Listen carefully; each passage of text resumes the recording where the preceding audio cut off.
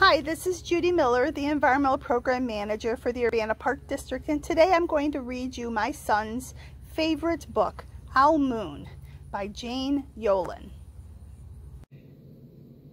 It was late one winter night, long past my bedtime, when Pa and I went owling. There was no wind. The trees stood still as giant statues, and the moon was so bright the sky seemed to shine. Somewhere behind us, a train whistle blew, long and low, like a sad, sad sound.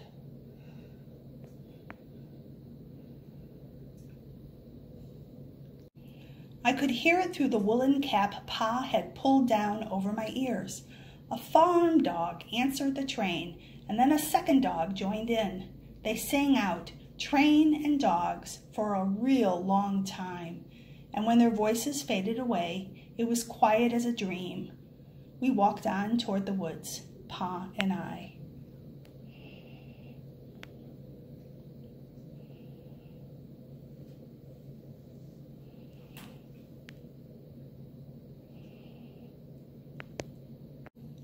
Our feet crunched over the crisp snow, and little gray footprints followed us. Pa made a long shadow but mine was short and round. I had to run after him every now and then to keep up, and my short, round shadow bumped after me.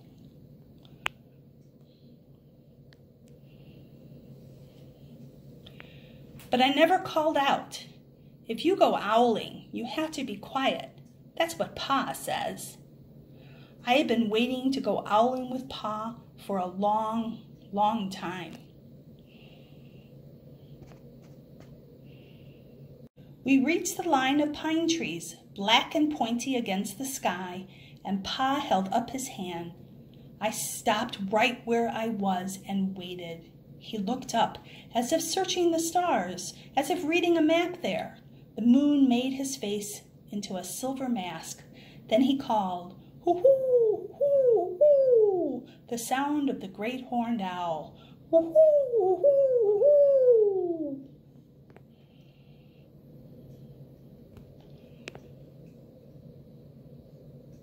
Again he called out, and then again. After each call he was silent, and for a moment we both listened. But there was no answer. Pa shrugged, and I shrugged. I was not disappointed. My brothers all said sometimes there is an owl, and sometimes there isn't.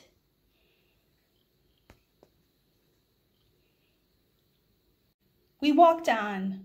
I could feel the cold as if someone's icy hand was palmed down on my back, and my nose and the tops of my cheeks felt cold and hot at the same time.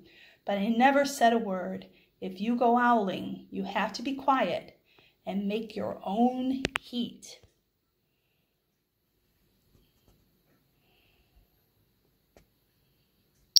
We went into the woods. The shadows were the blackest thing I had ever seen. They stained the white snow.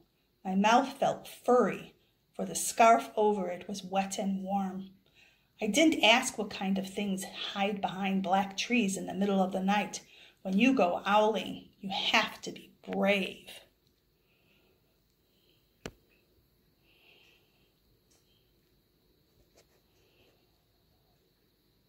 Then we came to a clearing in the dark woods. The moon was high above us it seemed to fit exactly over the center of the clearing, and the snow below it was whiter than the milk in a cereal bowl.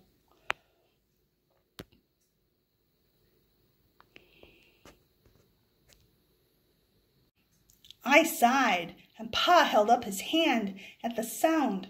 I put my mitten over the scarf over my mouth and listened hard.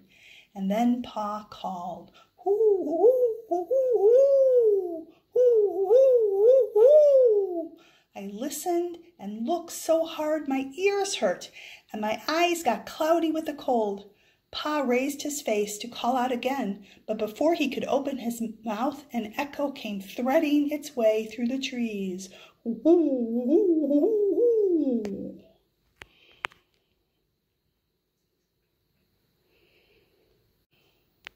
Pa almost smiled.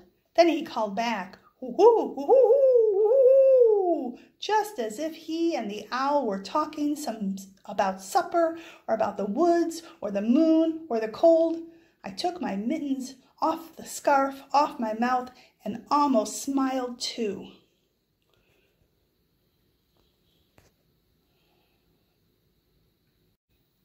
The owl's call came closer from high up in the trees on the edge of the meadow. Nothing in the meadow moved. All of a sudden, an owl shadow, part of the big tree shadow, lifted off and flew right over us. We watched silently with heat in our mouths, the heat of all those words we had not spoken. The, the shadow hooted again.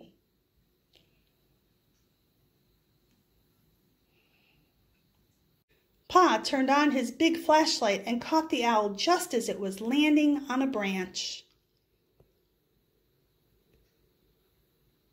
For one minute, three minutes, maybe even a hundred minutes, we stared at one another. Then the owl pumped its great wings and lifted off the branch like a shadow without sound. It flew back into the forest. Time to go home, Pa said to me. I knew then I could talk. I could even laugh out loud, but I was a shadow as we walked home.